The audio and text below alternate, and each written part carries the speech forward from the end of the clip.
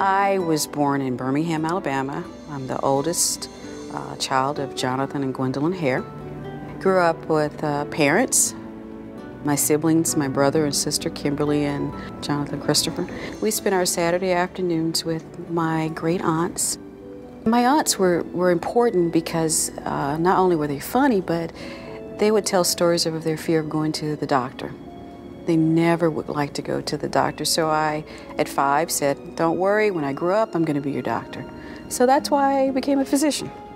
And uh, so I went to medical school at the University of Alabama. And then, after finishing and deciding to become an obstetrician gynecologist, came to Houston at Baylor College of Medicine for my residency.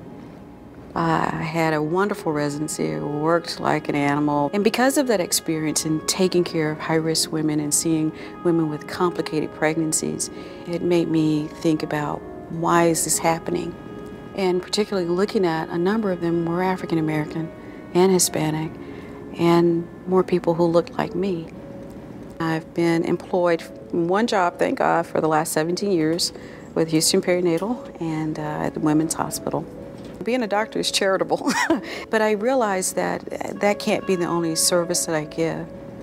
I have, uh, first, my initial invitation was to work with the Minority Cord Blood Banking with MD Anderson to help recruit African American women to donate their cord bloods for bone marrow transplants. I also am on the board of March of Dimes wouldn't be here without my parents. I wouldn't be here without my aunts who made me look at life different.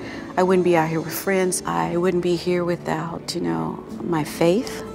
Because uh, realistically, um, it's only by grace and by favor and the Lord just smiling on that little girl from Birmingham that I'm here today.